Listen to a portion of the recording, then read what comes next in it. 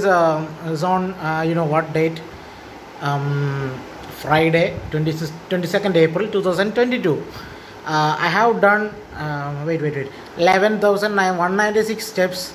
You know some health is recording my steps. And uh, but you know uh, the StepSetGo. When i open it sorry my phone is a little lag. So when i uh, check it this is shows zero steps zero today and uh, you know one level two you know when i shake this uh, shake this for a moment. Um, shake shake shake shake. Shake shake. Yeah there's 25 steps. Shake shake shake shake. Shake shake shake shake.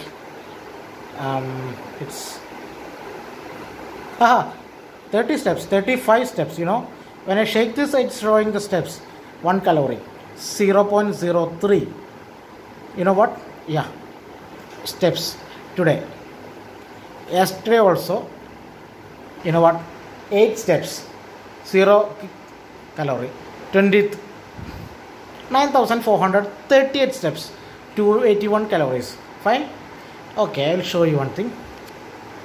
Um, yeah. Samsung health. 11000 today uh, 12000 something yesterday and 20th 10260 this is the actual steps i have uh, done. You know what?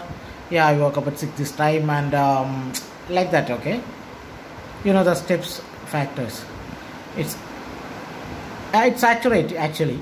I have done this because today i have run a lot of because i had lots of uh, programs pro- not just programs okay?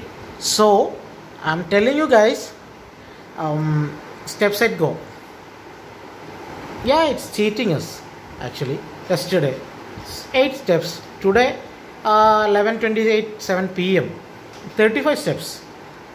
Where does the other steps go? And uh, not just these days.